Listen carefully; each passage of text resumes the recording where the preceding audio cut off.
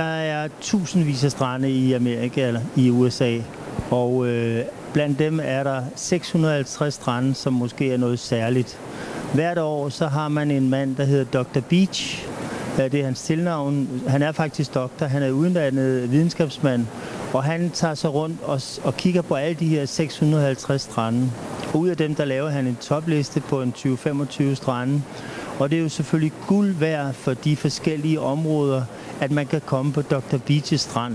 Han har gjort det her i flere år, og hvert år er det næsten ligesom om, hvem får Nobelprisen, hvem får øh, det ene, og hvem bliver præsident det andet. Der er lige så stor spænding om, når den her liste kommer. Og den bedste strand i år, det hedder Siesta Beach nede i Florida, øh, som er blevet valgt. Den er blevet valgt, fordi den, øh, har, at den er bred, den er lang, den har sand, der er ligesom mel, øh, og den har noget vand, øh, som er godt for hele familien, for børn, og så har den frem for alt en god øh, vandkvalitet.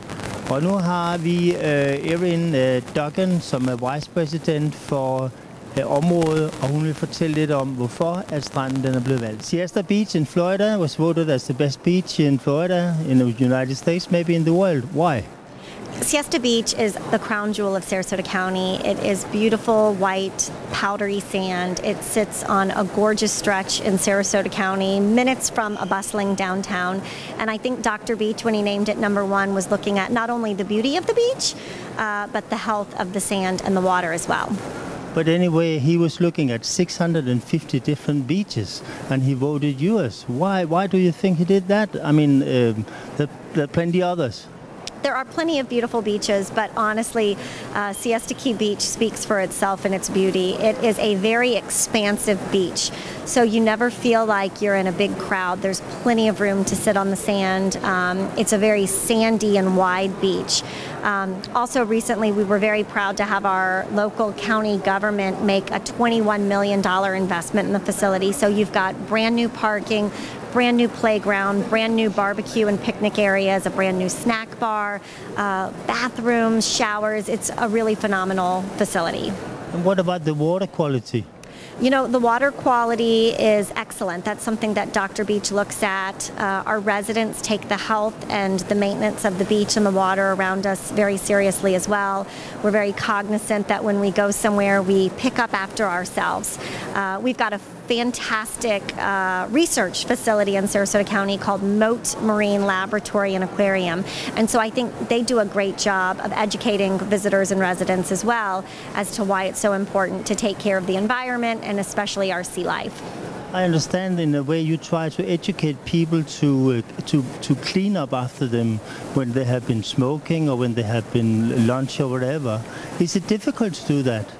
You know, I don't think that it's necessarily difficult. My hope would be that it would be common sense, but you know, I do think residents, when they see people leaving trash behind, they might say to them, hey, did you mean to leave this? Uh, but we also organize a lot of beach cleanup days ourselves as residents, especially after busy holiday weekends, because we just want to take care of our own beach and make sure that we're leaving a world behind uh, for our children and grandchildren that they can be proud of. How big is the beach? How long and how wide? In Sarasota County, we've got somewhere between 35 and 40 miles of beach line on our coast. Um, Siesta Key makes up uh, a couple of miles of that.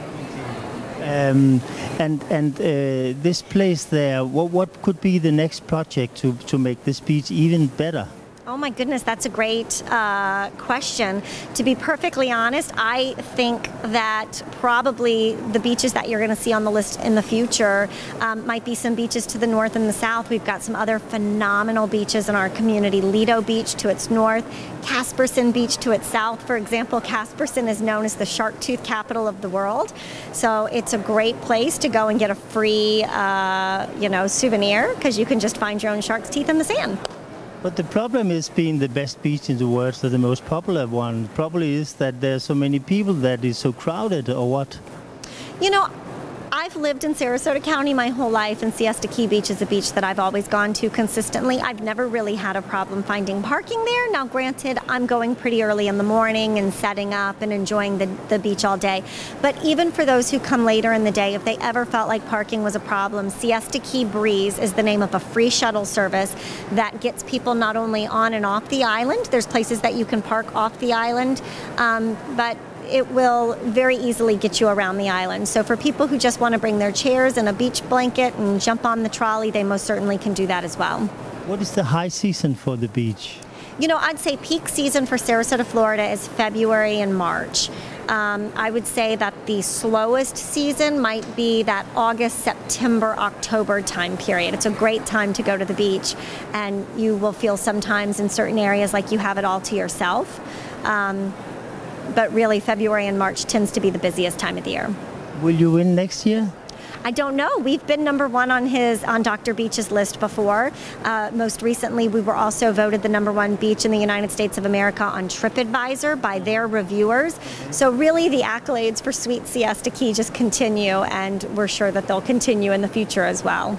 Have you remembered to send some flowers and chocolates to Dr. Beach?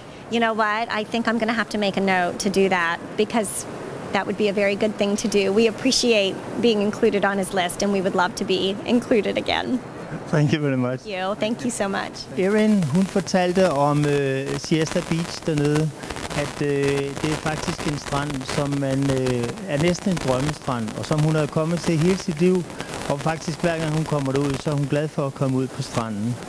Og det er fordi, at øh, øh vandkvaliteten er god, og sandet, siger hun, er øh, sådan, at alle enhver kan gå på det. Selv når det er rigtig, rigtig varmt, så kan man gå ud på det her øh, sand, og uden at brænde fødderne. Og det er altså lidt af en sjældenhed, når man er på en strand.